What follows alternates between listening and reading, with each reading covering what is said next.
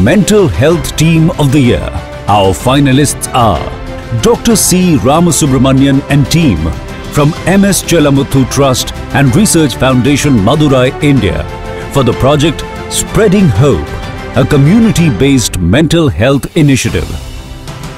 Dr. Hiranya Vijayasundara and team from District General Hospital, Ampara, Sri Lanka for the project Improving Efficiency of Mental Health Care provided by the Public Mental Health Service to patients with severe mental illness in Ampara, a rural region of eastern Sri Lanka. Dr. S. Kalyanasundaram and team from the Richmond Fellowship Society, Bangalore, India for the project Green Skilling